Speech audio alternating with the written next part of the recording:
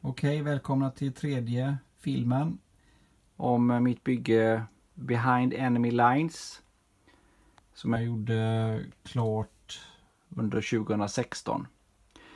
Tyvärr eh, har jag redan styckat bygget en hel del så att eh, det ser inte ut som det gjorde ursprungligen. Träden är borta.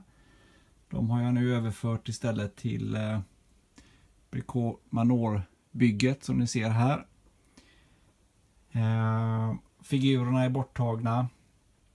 Eh, men jag tänkte att innan jag eh, gör om det här bygget helt till Behind Enemy Lines Part 2 så tänkte jag att jag filmar det som finns kvar av det ursprungliga bygget. Så jag har ställt tillbaks eh, Panterstridsvagnen och eh, halvbandaren här med luftvärnskanonen. Så jag förevigar det. Eh, här ser ni huset som jag faktiskt byggde själv. Förutom eh, taket. Eh, de två takstyckena är färdigköpta och skorstenen. Men eh, allt annat har jag faktiskt gjort själv. Det ska ju stå träd här egentligen, det är därför det är löv på, på huset. Det var ju här bakom som eh, de franska motståndsmännen eh, tog sig ut genom fönstret när tyskarna kom här. Det var ju här framme som nunnan stod placerad som stoppade tyskarna. Ehm. Ja, det jag blev, tyckte var roligt med det här bygget det var ju att vägen är lite svängd och muren där bakom är, är svängd också. Det tycker jag blev fint. Det är en Italeri mur, färdigköpt mur som jag böjde med hjälp av varmluftspistol. Försiktigt gjorde jag det. Eh, det här lilla skjulet, det är ju något jag hade från min barndom på 70-80-talet. Som jag hade kvar i gömmorna som jag bara har målat om och eh, vädrat lite. Ett eh, ved eller cykelskjul någonting. Den här verkstaden är ju en Airfix resinbyggnad. Som jag pimpade med bjälklaget här, de lösa tegelpannorna, det var ju inte original.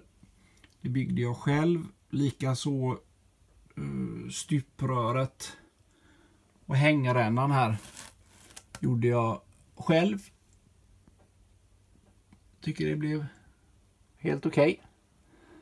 Det gjorde jag av eh, ett grä, tjockare grässtrå som jag klöv på hälften.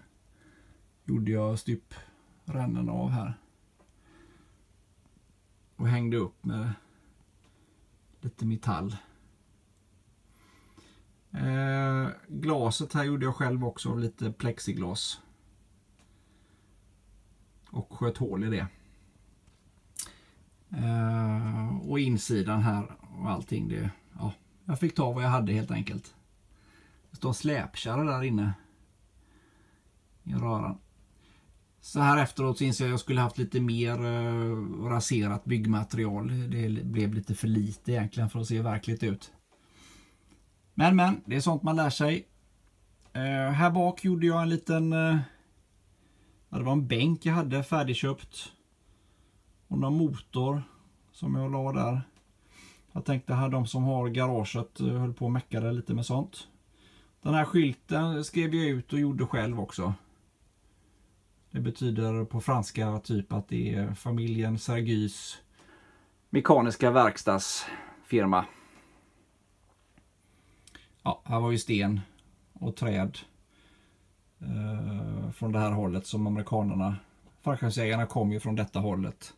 Det är en figur kvar, han med bazookan som skjuter. Han ställde jag tillbaka här. Nu bara för filmens skull. Eh, sekunden innan det smäller. Eller hundradelen innan det smäller rättare sagt. Eh, Airfix-huset det vädrade jag ju la många timmar på det här och la separata färger på tegel teglet och taket vädrade. Jag vet inte hur många kvällar jag satt med det. Men det blev roligt. Det var, det var, den var faktiskt bra att bygga. Den blev bra. Eh, jag pimpade ju halvbandan här med Eh, tyskarna har satt på lite lövverk för att kamouflera sig. Eh, jag tyckte den blev... Jag tyckte det var roligt med luftvärnspjäs som eh, pekade upp mot himlen så inte allt blev lite liten, ja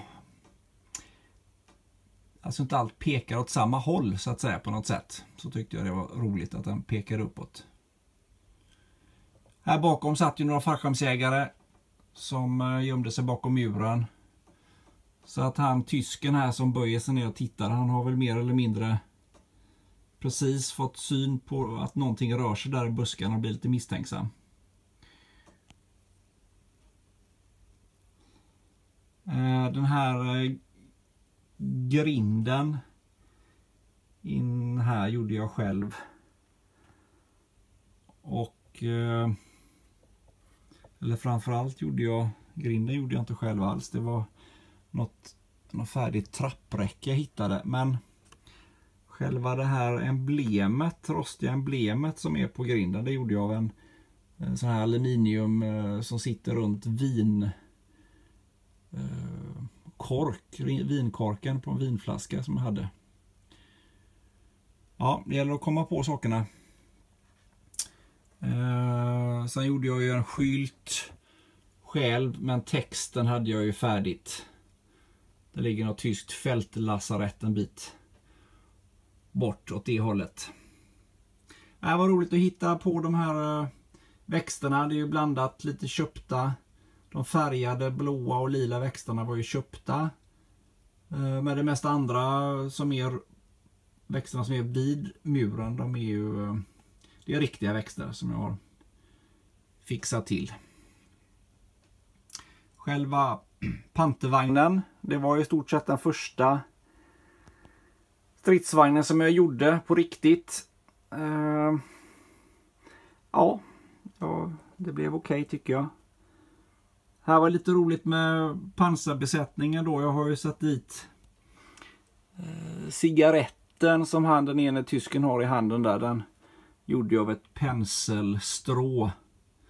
Och sen gjorde jag en karta av lite papper, bara tunt papper som han den andra håller i handen.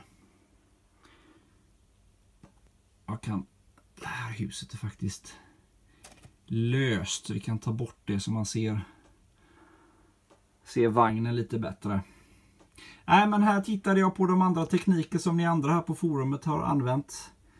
När jag målade den och satte på dekaler och så. Så att jag har tagit mycket lärdom av eh, eh, vännerna här på modellbygge i Fokus. Eh, riktigt trevligt forum som jag tackar för, för att jag är med på det. Ja, det var det. Eh, ni kommer se fortsättningen i eh, Behind Enemy Lines Part 2. Där eh, striden som utspelar sig några timmar senare när striden har rasat här i den lilla byn på D-Day Normandie 1944. Tack och hej!